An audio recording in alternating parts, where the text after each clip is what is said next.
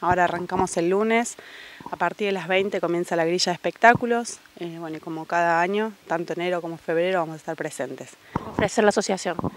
Eh, delicatessen, o sea, una variedad de lo que se ofrece también en el October, un poco mucho más reducido, pero bueno, en definitiva que el turista y el local pueda degustar eh, un poco de la comida gastronómica local, eh, centroeuropea.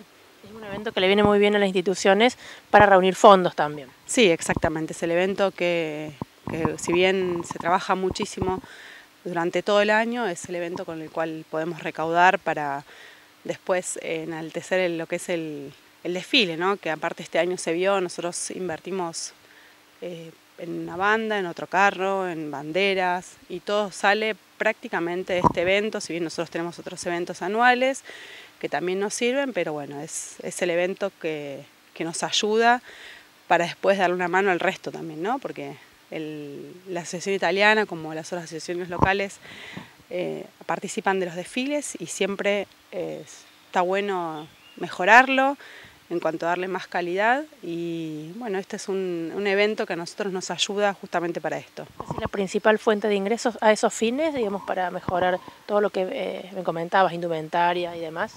Sí, en realidad, como te dije, nosotros tenemos eh, varias fiestas durante el año eh, y también nos sirve, pero sí, es como el empuje, no pa solamente para la asociación italiana, sino para las otras asociaciones también, ¿no?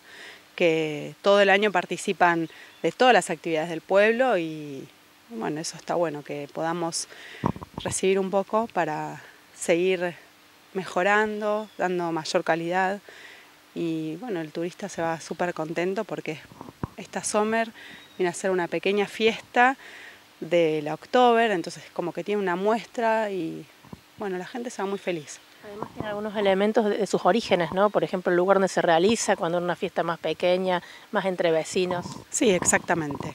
Al ser más pequeña, uno tiene otro trato con la gente. Eh, aparte, trabajamos desde las asociaciones, o sea, somos parte del pueblo, los que estamos en contacto con los turistas y es otra relación. Te cuentan, te comentan, te dicen que, que les gustó, por qué vienen a la villa. Hay mucha gente que viene a buscar justamente esta fiesta en el verano, ¿no? Obviamente. Y para otros será eh, una invitación para volver en octubre. Totalmente. Yo creo que esa es la idea, que la gente vea un poco cómo funciona el octubre. Si bien es una muestra muy pequeña, es bien familiar. Eh, la idea es justamente eso, ¿no? Mostrarles un poco cómo funciona e invitarlos para que vengan para el octubre. el trabajo de ustedes empieza muchos días antes del lunes próximo, seguramente, para preparar todo. Sí, totalmente.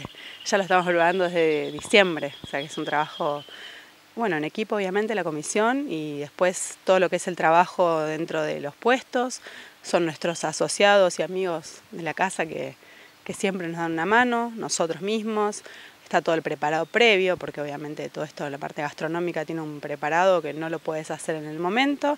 O sea que sí, es una elaboración, un trabajo que por lo menos se viene realizando o planificando hace un mes prácticamente.